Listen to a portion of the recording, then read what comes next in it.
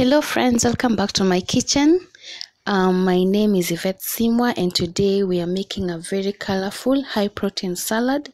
And we'll go straight ahead to ingredients, which are we have one carrot, but we'll use just a quarter of a cup of it. We'll use half a cucumber, two tomatoes. You can replace with red, green, or yellow bell peppers. We have two cloves of garlic. We'll grate them.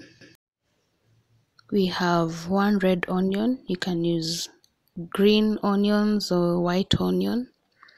We have a bunch of coriander, but we'll use two teaspoons or two tablespoons, sorry. Um, we have flax seeds. We have cashew nuts there. We have ground nuts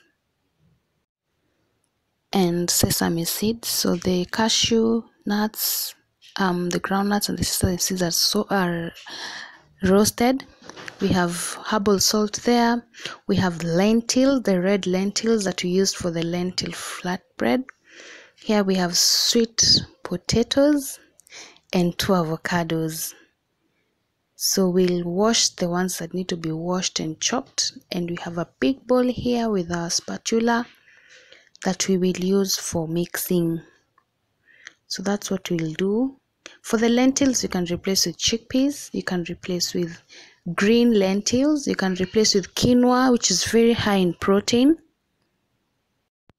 Imagine everything is going into the bowl. You can replace the lentils with cooked brown rice and cooked um, kidney beans. Um, here we have sweet potatoes and carrots, carrots that are rich in vitamin A, cucumber, very rich in vitamin C, um, will boost your immunity, especially in this time of the pandemic in which we are in. We have onions that have very high sulfur compounds, very beneficial for your health. Tomatoes are very rich in vitamin C and very high in lycopene. Lycopene is the red coloring matter of the tomatoes, which is good for the prostate. And many people normally say that you cannot get proteins from plants, but I'll tell you today that most of the animals, most of the animals that we have get their proteins from plants. So God naturally put all the minerals, all the nutrients and vitamins sufficient for sustenance in the plant food. And so we're just mixing.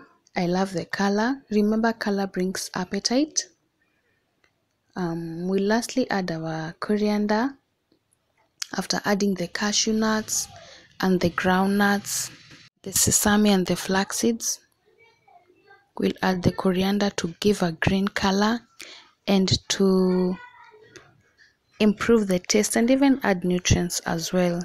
Coriander is very good for liver detoxification, and so you can consider it in your dishes.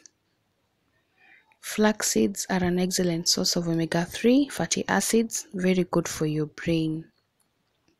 Here's the salt we added. Um, just give it a mix.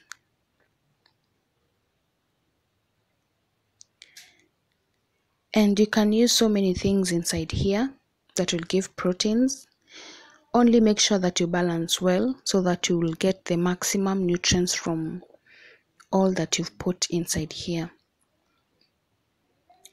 Um remember to eat to the glory of god.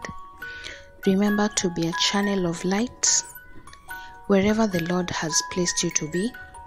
God is calling each and every one of us to be channels through which he will minister to people who need hope hope of living hope of striving um, for a better life and even for the hope of coming the second coming of jesus christ.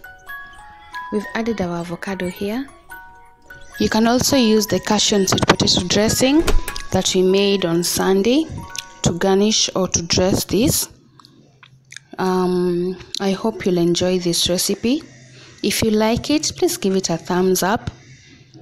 If you wish to see more videos, remember to subscribe and click the notification bell. Bye bye.